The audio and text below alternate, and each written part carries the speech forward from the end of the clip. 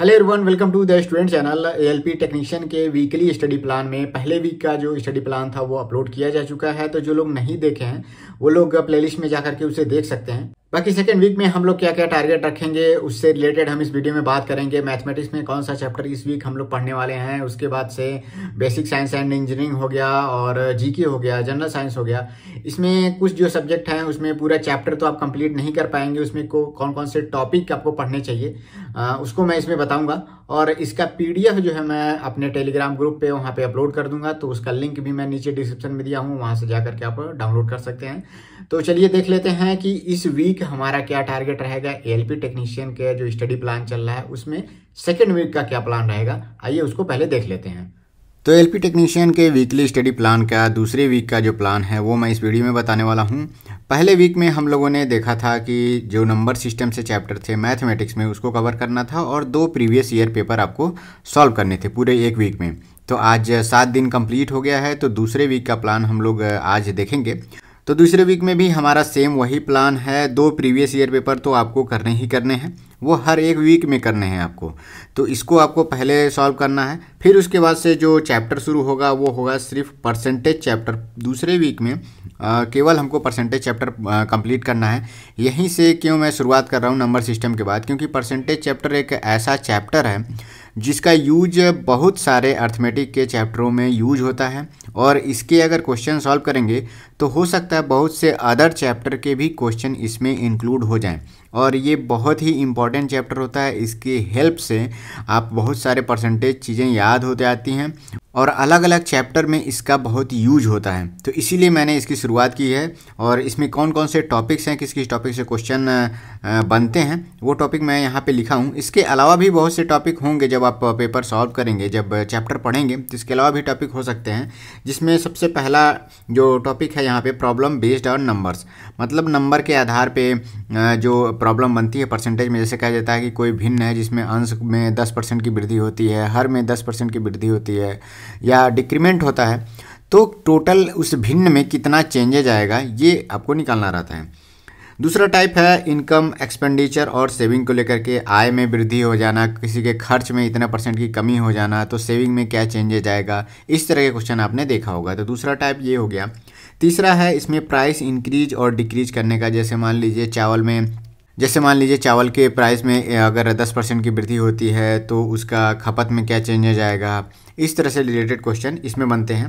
Next है fourth number का mixture based question अब देखिए मिक्सचर बेस्ड क्वेश्चन में क्या होता है कि अगर किसी मान लीजिए पानी और चीनी का घोल है या फिर नमक का घोल है, इस तरह से उसमें अगर मान लीजिए उसमें एक लीटर पानी और मिला देते हैं तो उसमें नया परसेंटेज या फिर दोनों में रेशियो में क्या चेंजेज आएगा इस तरह के क्वेश्चन आपको देखने को मिलेगा।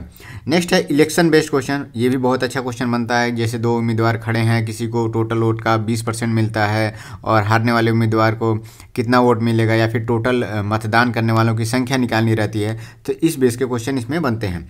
नेक्स्ट है कमीशन बेस्ड क्वेश्चन अब देखिए कमीशन बेस्ड क्वेश्चन में क्या होता है कि किसी चीज़ में अगर मान लीजिए कोई प्राइस कोई वस्तु है, उसको बेचा जाता है तो उसमें इतने परसेंट का कमीशन बनता है तो एक्चुअल प्राइस निकालना या फिर उसमें लाभ निकालना, ये आपको इसमें पूछा जाता है।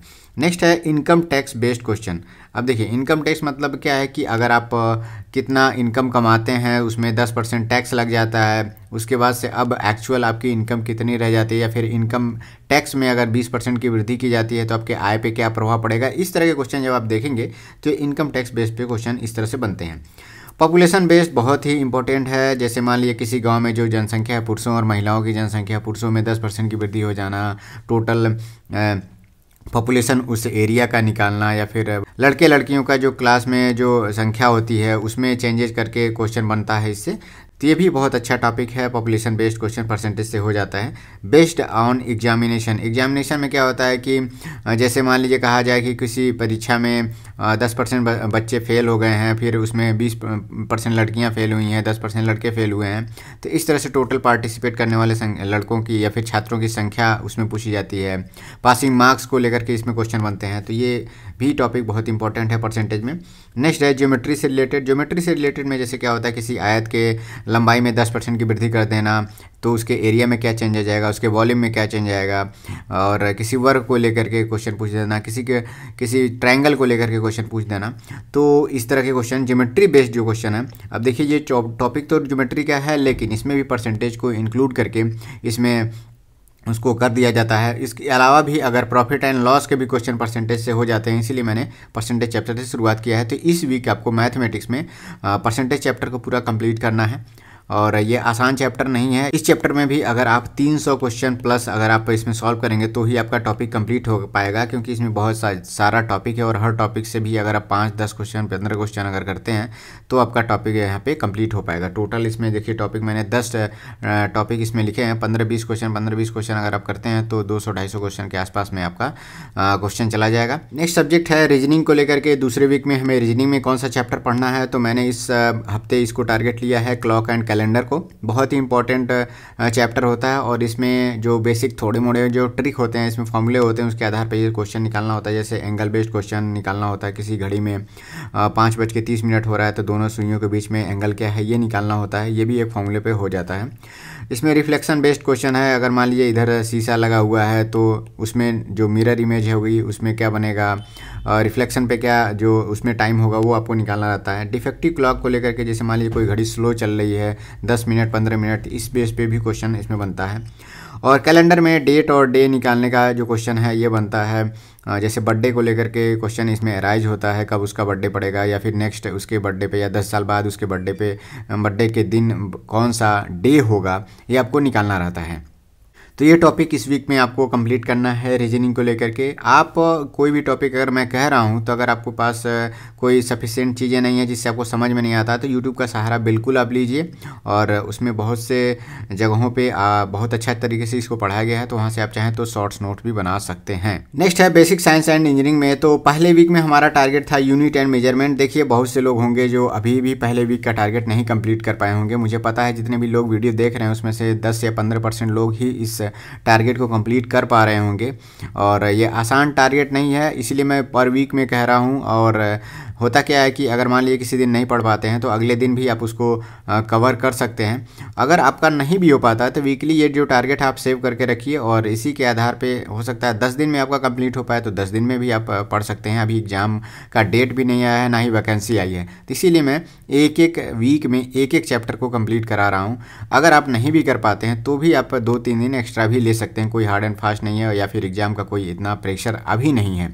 लेकिन अगर अभी भी आप धीरे धीरे करके नहीं कंप्लीट करेंगे चैप्टर तो बाकी आपको एक एक दिन में आपको मैथ के दो दो चैप्टर भी कंप्लीट करने पड़ जाएँगे। एक एक वीक में सॉरी आपको दो दो चैप्टर भी पढ़ने पड़ सकते हैं। अगर उस पर भी नहीं आप पढ़ेंगे तो और भी आपका प्रेशर होगा और सब्जेक्ट इसमें कम नहीं है सी बी वन और सी बी टू को लेकर के।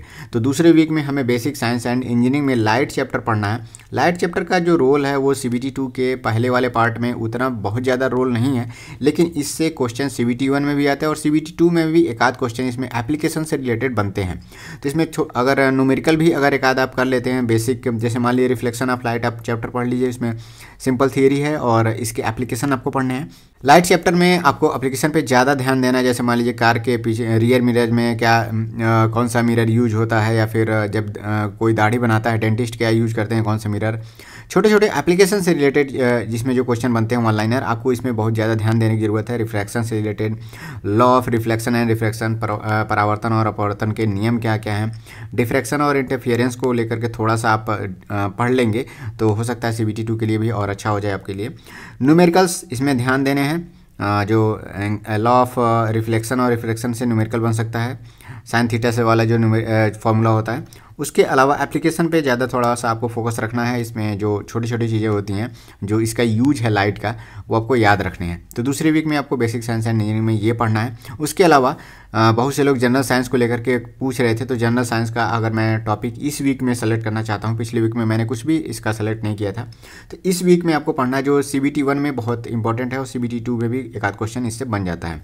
तो सेल, पहला जो चैप्टर रहेगा, कोशिका आपको कवर करनी है, दूसरा है पाचन तंत्र कवर करना है। अब ये देखिए, अगर आप एन e से पढ़ते हैं तो बहुत अच्छी बात है। अगर शुरुआत है अभी तो एन e को अगर आप प्रेफर करेंगे, देखिए ग्रुप डी का जो पेपर हुआ है, उसमें पहले से जो इस तरह से क्वेश्चन आते थे, उस तरह से नहीं आए हैं। एन को उसने टारगेट किया हुआ है और एन से क्वेश्चन पूछा जा रहा है।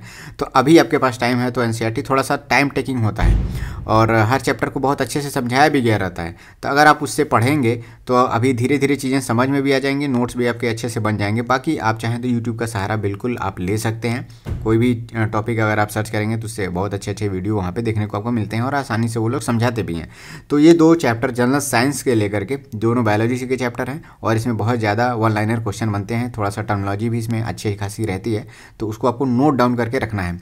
बहुत से लोगों का ये चैप्टर अच्छे से तैयार भी होगा। नेक्स्ट है करंट अफेयर और स्टैटिक जी के पहले वीक में हम लोग मंथली मैगजीन को तो कवर कर ही रहे थे। नोबेल प्राइज को हमने कवर किया था। और रमन मैक्सेसे पुरस्कार को कवर किया था। स्टैटिक जी के में हम लोगों ने पढ़ा था national park wildlife sanctuary biosphere reserve और एनिमल्स किस नेशनल पार्क में कौन से एनिमल के लिए फ़ेमस है?